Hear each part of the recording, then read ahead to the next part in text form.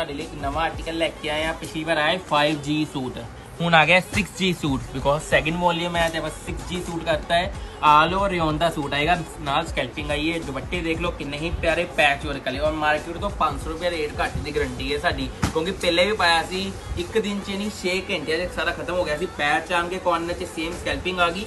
ਔਰ same suit ਦੇ colour ਦੀ ਡਾਈ ਆ ਗਈ, ਦੁਪੱਟੇ ਦੇ। ਔਰ ਪੈਚਸ ਆ ਗਏ।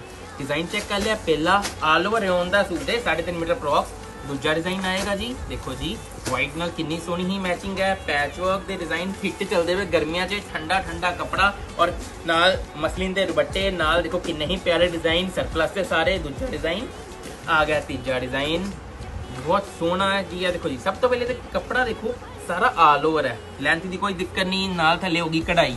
ਕਢਾਈ ਨਾਲ ਹੋਈ ਏ। ਤੇ ਨਾਲ ਦੁਪੱਟੇ ਦੇ ਜਿਹੜੇ ਵਾਟੇ ਕੱਢੇ ਉਹਦੇ ਕੱਢੇ ਹੀ ਕੱਢੇ ਆ। ਬਹੁਤ ਸੋਹਣਾ ਦੁਪੱਟਾ ਹੈ ਇਹ ਦੇਖੋ ਜੀ, ਕਿੰਨੀ ਹੀ ਪਿਆਰਾ ਹੈ। ਪੈਚ ਵਾਲੇ ਦੁਪੱਟੇ ਫੋਰ ਸਾਈਡ ਪੈਚ ਹੈ ਜੀ। ਅਗਲਾ ਕਲਰ ਚੈੱਕ ਕਰੋ ਜੀ, ਕਿੰਨਾ ਹੀ ਪਿਆਰਾ ਛੋਟੀ ਬਿੰਦੀ। ਪਿਛਲੀ ਵਾਰ ਪਾਇਆ ਬਹੁਤ ਫਾਸਟ ਗਿਆ ਸੀ ਸੁਪਰ ਡੂਪਰ 6G ਸੂਟ ਹੈਗਾ ਇਹ, ਬਹੁਤ ਵਧੀਆ। 6G ਨੈਟਵਰਕ ਨਹੀਂ ਆਇਆ, ਪਰ 6G ਸੂਟ ਕੱਢਤਾ ਹੈ।